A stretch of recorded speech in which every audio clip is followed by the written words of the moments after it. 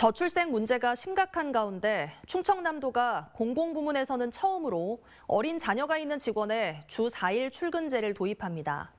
또 24시간 보육시설과 공립학원 설치 등 충남형 돌봄 정책을 추진해 지난해 기준 0.84명인 도내 합계 출산율을 1명으로 회복하는 게 목표입니다. 대전문화방송 김태욱 기자가 보도합니다. 한 살과 두 살 남매를 키우는 장혜원 씨는 워킹맘입니다. 충남도가 어린 자녀를 키우는 직원에게 하루 2시간씩 돌봄 시간을 주고 있지만 사실 사용하기는 쉽지 않습니다. 그런데 앞으로는 아예 하루는 재택근무를 하면서 아이를 돌볼 수 있게 됩니다. 지금 육아 시간이 있는데 사실 좀 사용하기가 어려워요.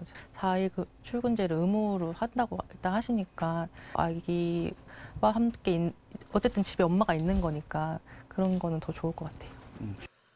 충남도가 주 4일 출근제 도입 등 저출산 극복을 위해 팔을 걷어붙였습니다. 공공 최초로 사실상의 주 4일 근무제를 시행하겠습니다.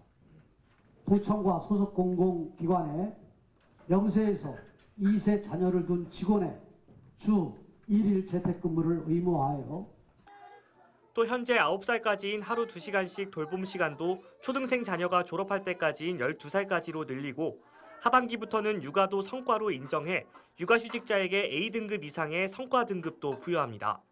이 밖에도 도내 25개 이상의 5살 이하 영유아 24시간 전담 보육시설을 만들어 모든 시군에서 운영하고 초등 돌봄과 공립학원 운영 등 사교육비 해소 대책도 함께 추진합니다.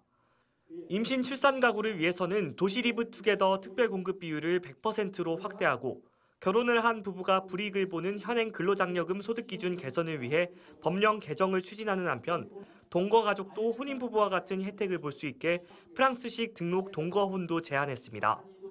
충남 지역 출생아 수는 지난 2018년 14,000여 명에서 불과 4년 만에 30% 가량 줄었고 같은 기간 가임 여성이 평생 출산하는 평균 자녀 수도 한명 아래로 떨어졌는데 충남형 돌봄 정책을 통해 내후년까지 한 명을 회복하는 게 목표입니다. MBC 뉴스 김태욱입니다.